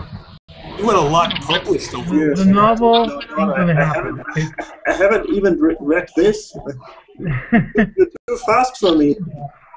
it's I, you know, I'm I'm I'm just about to have two hardcover limited editions out, and it's I it's you know I I thought I was gonna die and have a heart attack and die, and so I wrote all these books because I said I couldn't die until I had more books out, and then I didn't die. It was such a bummer. So So you have to keep on writing. So Tough luck there. so now I kind of have to slow down. Now I have to slow down and and um, you, you, you had Gathered Dust come out, and you had Yeah. Uncommon Places, and I've You got know, the. it- Yeah, and, it's uh, like uh, well, I, I had three books out last year. I had two. I'm having a book. My next two books are going to come out probably within weeks of each other in next month, and it's like it's crazy. It's like it's time to stop and and find do something different or do something I don't know what. I tried to write a novel. I am not a novelist, um, so I've given up on that. I I do want to write. I want to return to writing my little um, things based on fungi from Yuggoth for the eZine. Um, you know, but for the moment, I just want to. I want to be lazy. I want to do a lot of reading, and I need to get used to um, a new life. You know, a new way of living without without my my mother around and being alone and feeling strange and you know I'm I'm adjusting to a new life. Yeah, I'm sure the house is pretty quiet. The house is really quiet. Yeah. You know, I live with a ghost, and um, I, I hardly ever see him. I, I love sitting in the living room and reading. Uh, I have a lot of books I want to read. Um, I get a lot of books sent to me from publishers and things, and so it's it's kind of like I'm just you know, being laid back, and um, of course, a lot of for me, a lot of the work of writing comes from reading, and so I feel like I'm still I'm still in the writing mode. I'm just I'm not doing the physical work, and it, that's okay. I've written a lot of stuff, and I want my next big project to be different, unique, and the best things I've ever done. So I, I just I need to think about that and uh, just you know just go slow. That's what I say, you know. Then maybe two weeks two weeks from now, all of a sudden, I'll have my next book halfway written. Who knows, darling? It's Mhm. I, I can never predict, but I, I feel like I'm really slowed down, and uh, yeah. What did you think of Cabin in the Woods, Joe? was okay. I really liked when Sigourney Weaver popped up. I wasn't expecting that. That was that was worth staying awake for. Yeah. Um, for a horror movie, it was okay. And, and from Joe Pulver, that is high praise. Joe, Joe is a tough critic. I, I'm just not a big horror movie fan. I love film, but I'm not a horror movie guy. I really like The Awakening, Yeah, that was good. except for part of that is I think that girl. I wish I could remember her name. Rebecca Hall. She was in the town. She's a brilliant young actress. That's I I I, I re- so that's free to you know, I'm watch on. Netflix right now too. Um, you know. Um, I haven't I think that one scene in The Awakening was one of the creepiest scenes I've ever watched in a film. I don't I don't want to give it away for people that haven't seen it, but when she's looking into the dollhouse, yeah, that that creeped the shit out of me. That bothers me as much as the one scene in the uh, George C. Scott Exorcist. Just wow. Um, no, the, the you know there was nothing wrong with Cabin in the Woods, and there were some things there. There were some of the interplay with Bradley Whitford and and the other guy who I can never remember his name Yeah, was real that guy. funny. I, I I really enjoyed those two guys together a lot. Um, the stuff in the cabin was like, oh come on, uh, you know, um, you know, and for for eight minutes or twelve minutes, it's like, oh that's such and such, oh that's that, oh that that's that. It's like okay, you used every trope that's ever been. that was the point. Could have Though. could have used half of them and got the point across. Well, I Um, thought I thought Thor did a great job. Oh yeah, that was totally Thor, and I didn't even recognize him. Yeah, yeah. Well, Um, they they filmed it about two years before Thor came Yeah. out. Yeah, Oh. Yeah, he looked younger. he Um, did. He really did. You know, I, I really love the idea of the movie. Um, and, and it was made well enough. It just, it's not my kind of film. You know, I mean, Do you like many horror comedies? He doesn't like horror. I, I'm not a big horror film fan. Yeah, but I mean, like, I feel like horror comedies kind of are their own thing. And I'm not a big comedy fan either. I like drama. This was gonna be a slam dunk for you. You know, um, uh, you know, I I liked horror movies when I was a kid, and then, you know, I was there opening night for Texas Chainsaw Massacre, and you know, all that stuff, and we switched gears, and I didn't care anymore. I I, I don't. I, I don't like zombies and I don't like slashers. Yeah. I, I'm I'm kind of with that too. I like the more classical horror. Um, you know, I, I just can never get my head around zombies. It's I love ghouls. I think I'll- zombies I'll- are so boring. Show me ghouls. Ghouls stink. They, you know, I mean. Ghouls Gone Wild. I don't Yeah, that'd be understand why fun, maybe. I I don't don't know. zombies are so popular. I mean, They're so boring. I, I don't I don't want mindless unless it's the mindless ones in Doctor Strange. You know, um, Well, the reason I think that zombies is so popular is purely from an anthropological standpoint. Zombies represent something. Slashers represent something. That's why they keep coming back and they won't go away. mm, What? What? just it's just not something I'm interested in watching. That's all. Not, I'm not saying I'm right. I'm not saying there's anything wrong with them. It's just not where my taste lies as far as film. You know. Fair enough. Speaking of, of, of not where your taste lies when it comes to film, my son and I watched Dredd the other night. That was fun. than you? How is it? It's not a bad movie. No, it's a popcorn movie. It's a popcorn movie. You know. That's okay. This was like the boringest chat ever. It looks boring to me. Wait. Well, Who you don't have that? to worry about a sequel No. because it Has didn't make anybody- any money. Has anybody seen that new Bates Motel uh, series? Just, Yeah, I've seen that. just a question. Does Dredd take his helmet off in the in the No, movie? No. no. Ah, that's that's good. In the comic books, he never does this. That's that's great. That's why it was kind of surprising that Urban took the role, but he knew up front that you know he would get no FaceTime, pun intended.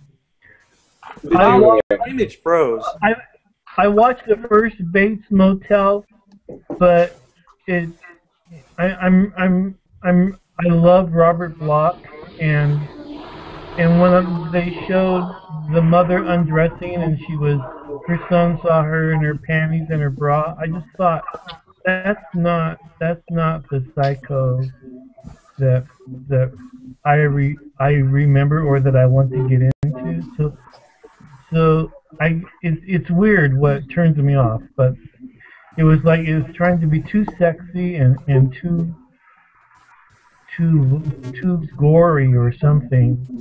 Or, They went or- for pure shock value. yeah, and to me I that's haven't it. that's It didn't. You know, feel, the- it didn't. I didn't. It didn't look interesting to me. I haven't seen it, it. I you know I I'm not gonna watch it again. Yeah, I only saw the I only saw the first episode, and my main objection was if you blinked, you wouldn't know Robert Bloch had anything to do with this TV series. No. It popped up in the end credits as like the first thing when it's on a small screen. I was expecting at least in you know the beginning of the series to say based on a novel by Robert Bloch. And you don't get that till at the end, so that Hmm. that turned me off. For if for any other reason, Plus, I'll tell you what. The whole thing to me. I'm just gonna say it. It looks like bad parenting. You know. Well, wasn't that kind of what the movie was about, though? Well, the, it, well, the interesting thing about the movie is that Bates in the novel doesn't look anything like Anthony Perkins. He looks like Martin Balsam, who played the Yeah. detective. Like they swapped the two characters if you read the physical descriptions. The movie has the mystique, and and that mystique is entirely missing in this new TV drama. It's, Well, uh, it seems like they just they just abandoned all the Hitchcockian elements. yeah, they made it common. Yeah. They it, it- they re, they removed what was ingenious, and they've made it into the everyday thing that you see everywhere else. Well, has anybody seen Hitchcock? No. Yeah, the movie. Yeah. Yeah, I loved it. Yeah, I enjoyed it. Uh, I I I had read reviews that said it wasn't very good, but I watched it anyway, and I I enjoyed it. You, Um, I, I had no idea about the relationship with his wife. That in to- Oh, I- I totally did. intrigued me. I I did. And Well, of course, bet- it, it was just absolute pleasure to watch Helen Mirren half naked. Oh, she's fabulous. Yeah. You know. So I did stay awake to watch Helen Mirren with not too many clothes on. You you got a totally different take though on Hitchcock in, in the movie uh, The Girl, which was about Tippi Hedren and Hitchcock. Mm. Why are, you, why are you laughing, Daniel? Daniel, why are you laughing? Well, uh, in the beginning, Joe was telling us about some bunnies he encountered on Facebook. Then he's telling us about Helen Mirren half naked. I mean, what what are your your preferences when you surf on Facebook or watch movies? I like girls. Not anything else. Just just because I take pictures in hotel rooms with Wilum, all gussied up. I like girls, okay? Don't go there, Joe. Don't go there. These these pictures in the hotel room with Wilum, that that was those were just celebrity things. Honey, that did. was one picture, please. Will we see it on Facebook? I I think Stan took more than one though. Well, I I I don't know. So what's wrong with liking girls? nothing. I like There's girls. nothing. You know, girls are a good Girls thing. Let me tell fabulous. you. Yes, there will be uh, this year, I, I believe, a, a sequel to Sin City, A Dame to Kill For. Oh, really? There. Yeah, Frank Miller. I'm done with him. I wish we could. I wish we could. We could get Stan to Necronomicon, but Yeah, I wish we could too. yeah.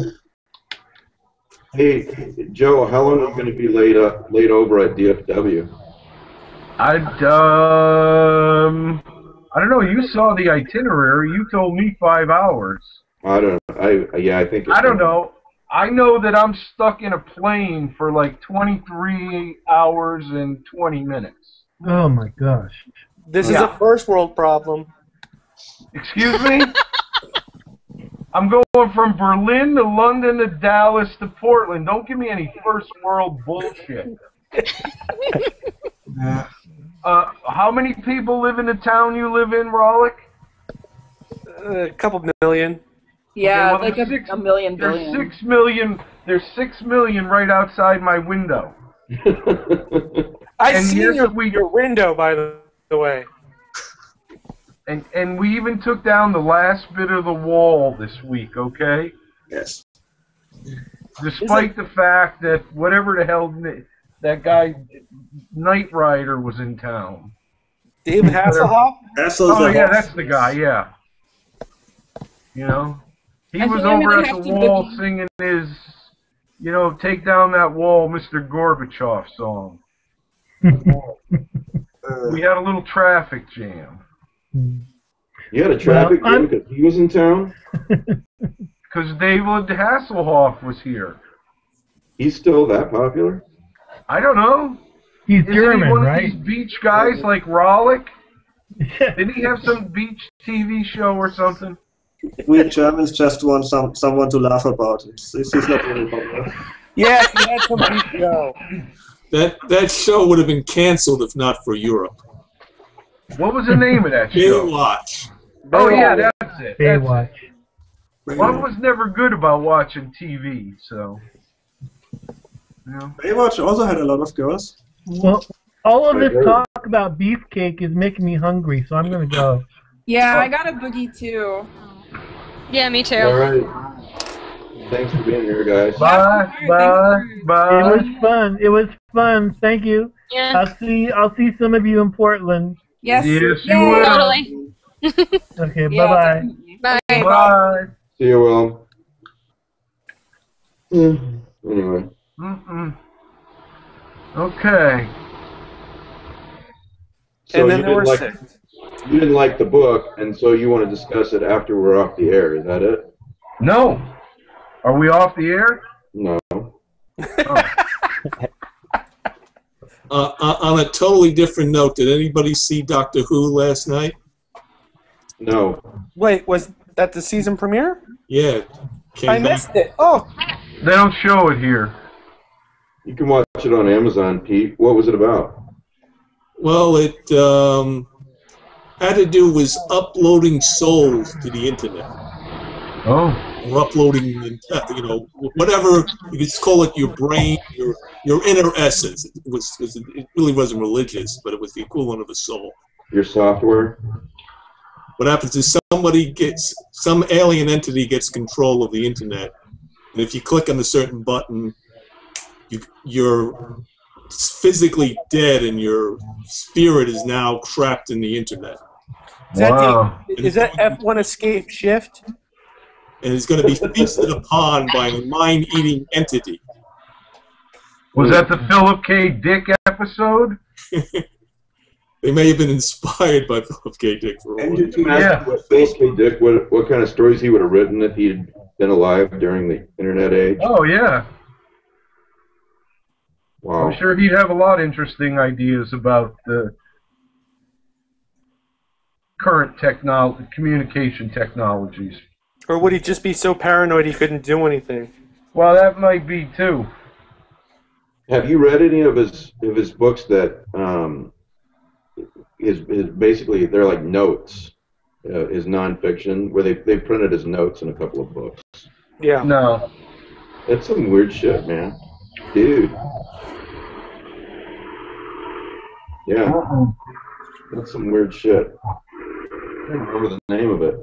No, the twisting realities of Philip K. Dick. That's what. That's one of them. Oh. Okay.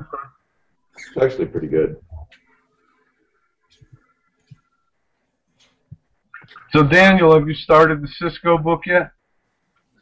Yes, I'm. Uh, the last story I read. I'm all all busy with I Am Providence.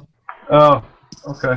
1,200 sides, but I loved the story. The, the depredation of Moore. That, that was great, and the other story about uh, about Herbert West, where, where he became this absolute megalomaniac who travels in the future, and then he uh, wants to watch the universe die, and then he wants to reanimate it. Yeah. That was from yeah his part of that one round robin. Pretty scary story. Well, I don't think we want to be reading any any more. We don't want to read any more Herbert West stories. No. What? This is was written uh, almost 15 years ago. Yes, Rawlik was. was Rawlik was still a kid. There- There's a sequel to that by C.J. Henderson called The Eternity of Self, which hap- which explains what happened to him when he went to the beginning of the universe or the end of the universe. Yeah, because that's all part of that round robin.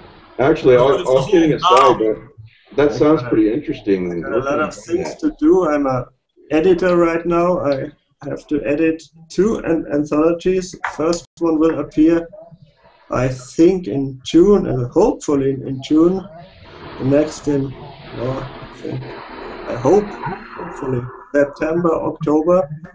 Then I'm writing on a collection of my stories. Uh, it's not really a collection. It's the stories are written for this book every story is connected with with each other and this is well as you heard i'm busy Um, where can I find that story where Herbert West was the beginning of the universe? It actually sounds kind of interesting. Well, the, the, this Cisco secret hours Cisco's collection, Secret Hours. Secret Hours? I have that. secret hours I forgot about it. the, the sequel to that is C.J. Henderson's novel The Eternity of Self. Right. It's all part of that round robin of Well, well, well, actually, what what his part of the round robin involved uh, a connection at the Mountains of Madness.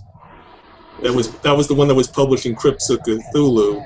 Right. Henderson wrote a story which ties in not only to Cisco's story but to his own, and and that maybe it grew out of the round it grew out of the round robin, but it's it wasn't part of the round robin to begin with. Oh, I, all right. I didn't know. I, all right. That's something Yeah. I'm unaware of. Then. It's been a really long time since I've read Secret Hours. I'm gonna have to pull that back off the shelf and look at that again, because I'd forgotten about that. very funny story is dr bondi's methods Yeah, that's a great story. i think there's a some kind of parody i think it's very funny Joe, in that round robin, didn't you have Baron Strucker pop up in a cameo? Yeah. Um, well, McNaughton took it to Germany, so I had to I had to do something, you know. Um, mostly because and and and and I started writing in my section of that at Bob's because we had spent the afternoon out act shopping for action figures, so. Um, and uh, so, some somewhere during the afternoon, when I realized what McNaughton had done, it, and you know, as we were looking at action figures, I just figured, okay, let's see what I can sneak in here. Nobody's ever going to see it to sue me, so you know. Somebody, and I don't remember whether this was you or one of the other writers who had, wrote something in Germany in that round robin, brought in uh, boys from Brazil because they had Dr. Mengele doing cloning experiments. Um, that that's where McNaughton started. I thought Yeah, in Germany with Mengele. Um, boy, I, it's so it's so many years ago. I mean, my God, that's at, at least 15 years ago we wrote that thing. I barely remember it. Um, It's a movie, I, I think. no, no, no, no, no, no, no. There, there, there's been a few for Herbert West. Um, yeah. What, what, what, what, what, what McNaughton apparently did was have a tie-in to the movie and novel Boys of Brazil. He had Mengele performing the experiments that were later in uh, Ira Levin's novel. Cloning Yeah, Mc, McNaughton, he was McNaughton was just a wonder. I mean, uh he he was a gem, absolute gem. Talk about somebody I miss. Um, I'll be back in a minute, you guys. yeah. I figures Pete would have that stuff. I had to, um, because I wanted to be honest. You know, I had to find these, and and I really had to f- search them for them, both reanimated and um, resurrected. Um, because I wanted the novel to be as true to everything else that had been written before as I could possibly make it. Oh, okay. Yeah, And, I um, could see that. So I think you know there there's the, there's a scene where um in Herbert West reanimated where he West brings back Daniel Cain back to life, and I really wanted to to, to work that into the novel. So I actually, while most of the action in the story in the story that um who was it? Um, I think it was Will Murray. What, most of what he wrote is off, takes place off screen. I do it right up front. Mm-hmm. Okay. Okay. Yeah. Interesting that you all used the name Cain, which, correct me if I'm wrong, that's only from the movie, right? Yeah, it is only from the movie, and you know it's. I figured it was used in this, Yeah. and it is really a different character. Yeah. Very different. It's still West's partner, but the character, the characterization, the way he acts and, and behaves, uh, is is totally different. I really like to. Somebody ought to collect all that Herbert West stuff. You know, I was thinking about that. There's never been a, you know, for all the work that Chaosium and all these other groups have done, there's never been a, a Herbert West themed anthology. No, there hasn't, and there's a mountain of it that should be collected. You know. Um. Molly did a really great piece. Um, this this stuff, CJ. There's Where- enough where- there for uh, for an anthology and then, and then to build off of it. Where, Oh, where yeah. was, where was Molly's story? Lovecraft eZine. Oh, okay. All right, it's called Herbert West in Love. Oh, I've, got, I've got to read this one. Pretty, pretty good, yes. In fact, one of the things, well, I have a whole story that talks about whose Herbert West's parents are. That's in, um, I think it's going to be published next month. This is interesting. Herbert West seems to Where- be Published where? Uh, it's going to be online. Oh, okay. So, as a promo piece for, for the novel. Okay. Cool. But if, if that doesn't happen, I'm, I'm probably going to submit it to uh, uh, Jean-Marc. Hey, Pete. And George calls uh, the, the character of Herbert West somewhere Hacknight. This book, he says this is so the mad scientist, and this is a cliche, and this is Hacknight, and something else, and he's well, seems to be an interesting character. Todd, what were you saying? Yeah, I was gonna say since uh, you can't fly me out to the convention, can you at least sign my copy of Reanimators at Necronomicon? Oh hell yeah! Thank you. Oh hell yeah! If, if you're willing to stand in line three hours to get up Yeah. there, he'll be happy to, you know, sprawl something. You may not be Oh. able to read it because he'll probably be drunk. you know, but P- Pete, just a question. Since you mentioned John Mark, I assume there's some French connection in this Aaron yes. story. Um, uh, there there is a Moreau connection. okay. Well, Mor- Moreau is technically H.G. Wells. You may get uh, Yeah, but he, yes. unless you have a different Moreau that I don't know about. No, he, yeah, he is. But you know, Moreau has appeared in, in some of the other tales. Right. Well, I think John Mark's strict in that you have to have one character who's pure French.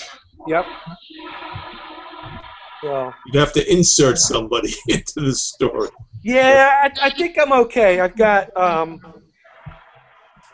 Dr. Jekyll, Dr. Moreau, Henry Higgins, and one more person. I can't remember who it is. That oh, um, the the Professor Challenger analog. Um. Rutherford? What's that? Ru- Rutherford? Yeah, Rutherford. Yeah. The- uh, uh, I'm, I'm, I'm going to imitate John Mark here. No, no, those are French. I yeah, I know. I'm just I'm just saying I have to do a lot of stories I don't submit to him because I can't work in a French character. Right. Yeah. So, Joe, you have I'm sitting on an excellent shadow pastiche, which may get published somewhere else because I submitted it a, a while ago, but they're going to tell me in August when they get all these stories. And my one problem was I had like tons of people, but none of them were French. Yeah. What were you gonna say, Mike?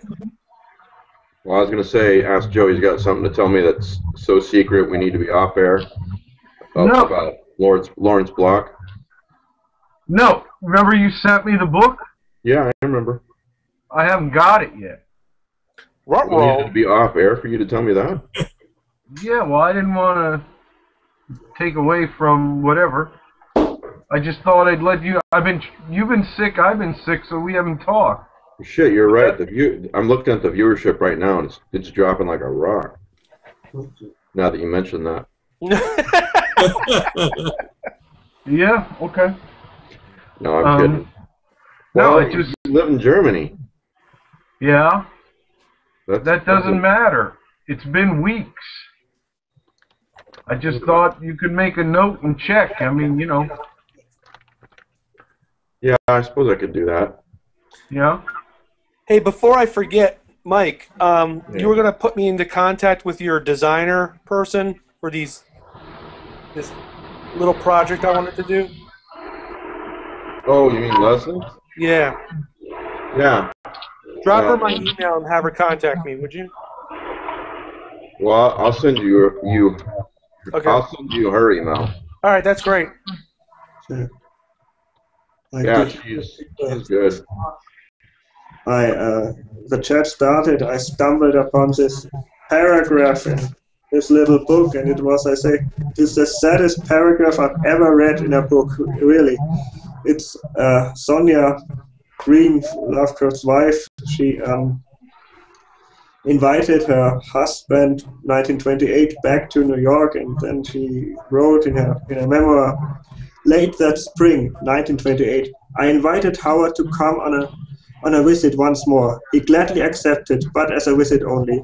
To me, even that crumb of his nearness was better than nothing. So, unquote.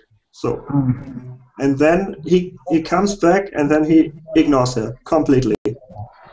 He stays at her apartment. He eats what she cooks, and he goes out with the boys. He ignores her completely.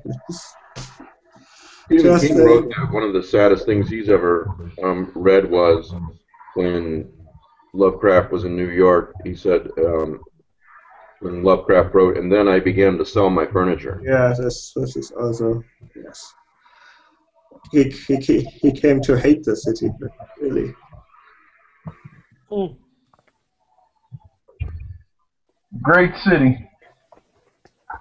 You know, he was he was offered editorship of Weird Tales at one point. Would have been interesting. What would have ha- he didn't want to move to Chicago? Would have been interesting. What would have happened in his life? Yeah. Yeah, that would have that would have definitely changed his life.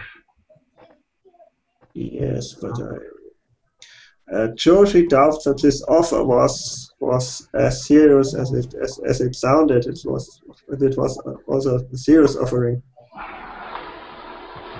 Mm, well, ST's been known to be wrong. There's um there's there's two little things that I've always thought were, were kind of amusing and potential for good stories. One, um, Lovecraft apparently lived uh, just a couple blocks from the guy, the woman who wrote um, "Cheaper by the Dozen." Oh, Really? Yes. I didn't know. And um, at one point, um, Theodore Geisel was considering going to Brown. Oh. So, you know, I know that there there is somebody out there who's done you know, you know cover art in, in uh, Dr. Seuss's Cthulhu, but a, a story along that lines where Lovecraft and, and Geisel work together would be kind of interesting, Hmm. at least in my feeble mind. That'd be different. Be pretty tough though. I wonder what the estate would think about that. Yeah. You know. Hmm. Well, I think I'm gonna go watch a movie or something. Okay. Yeah, I think I I gotta go put my kids to bed. I think I'm going to bed. It's two o'clock in the morning. Oh. Yep. Well, thanks for being here, guys. Okay. Thank you. Take care. Good night. Let me know what you find out about that block book.